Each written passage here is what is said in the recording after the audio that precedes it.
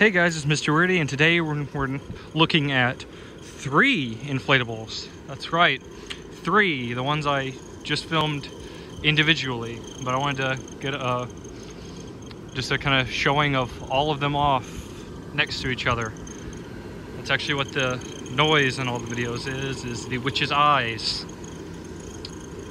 And I really think the character of these all together adds to uh, I guess the character of them.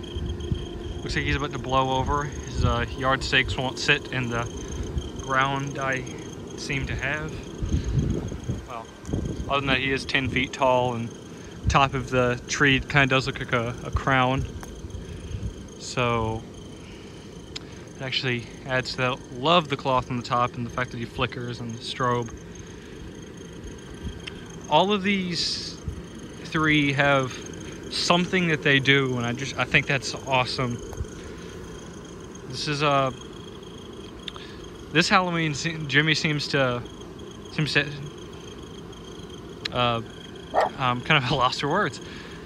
Uh, Gemmy seems to have uh, brought some A, A game with these actually, because these remind me of like the, the old Gemmy inflatables that they used to sell. Because I, I remember some of them like did stuff like this. Like there was a the, the giant skull that had the spinning eyes, and they brought seemed to have brought that back. And I think they, I don't know if they've had a, a cat before that turns its head, but if they didn't, it was a really really good idea. I love the the strobe effect in this. I think I think. Uh, I don't remember what they really used the strobe effect on with the balloons before, but there, I think there was a, a, a horse carriage they had in like 2007. Well, I don't know if that really did strobe, but uh, that one was, was awesome. Love the face in this one, like the. This is like. I don't know, these are like definition of ghost to me.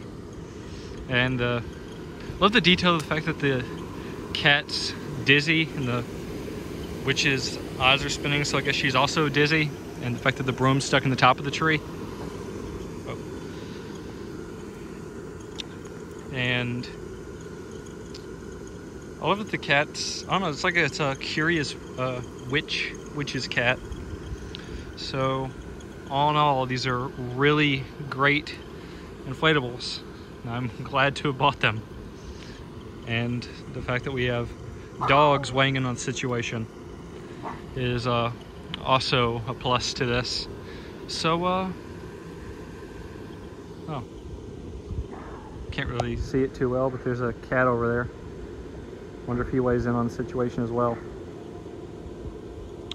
But, uh, yeah, these are really, really awesome.